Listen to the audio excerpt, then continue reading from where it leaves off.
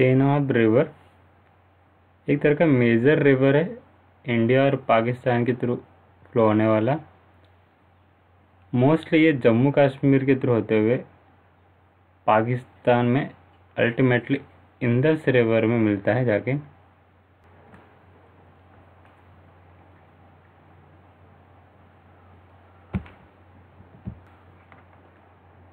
Jhelum river northern Indian subcontinent का part है, जो कि फ्लो करता है कश्मीर वैली से, और ये ट्रिब्यूटरी है चेनाब रिवर का।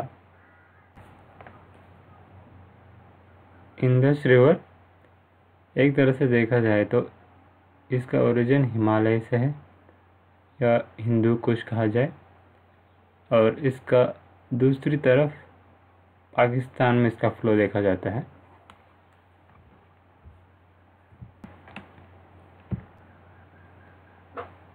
हीमोफीलिया।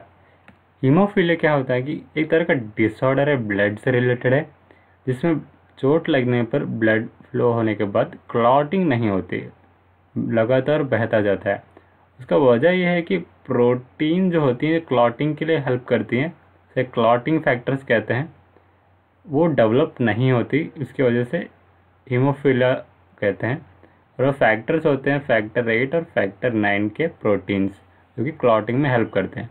उनका ना होना एक तरह से उसे हीमोफीलिया कहते हैं। एंटी माइक्रोबियल रेजिस्टेंस क्या होता है? एक तरह का माइक्रोब्स जो होते हैं, वो एक मैकेनिज़्म इवॉल्व करते हैं ड्रग्स के एक्सपोज़र के होने की वजह से। इतना इवॉल्व होते हैं कि जो हम ड्रग्स देते हैं किसी ट्रीटमेंट को ठीक होने के लिए, उन्हें इफ़ेक्टिवनेस की कमी आ जाती है। या यूँ कहें, वो माइक्रोब्स उन ड्रग्स के अगेंस्ट एक तरह का रेजिस्टेंस डेवलप कर देती हैं, जिनकी वजह से ड्रग्स यूजलेस हो जाती हैं। इसी चीज़ को ब्रॉडर लेवल पे मल्टी ड्रग रेजिस्टेंस भी कहा जाता है। ब्लैक काइट इधर का मीडियम साइज्ड बर्ड है, जो कि इसे डायूरनल रैप्टर्स भी कहा जाता है। ये वाइडली डिस्ट्रीब्यूटेड है temperate and tropical parts of Eurasia and parts of Australasia और ओशेनिया फ़ूड एंड फ्रागिंग की बात कही जाए ब्लैक कैट जो है मोस्टली ग्लाइडिंग करते हुए दिखाई देते हैं, वो भी सोरिंग थर्मल्स के साथ।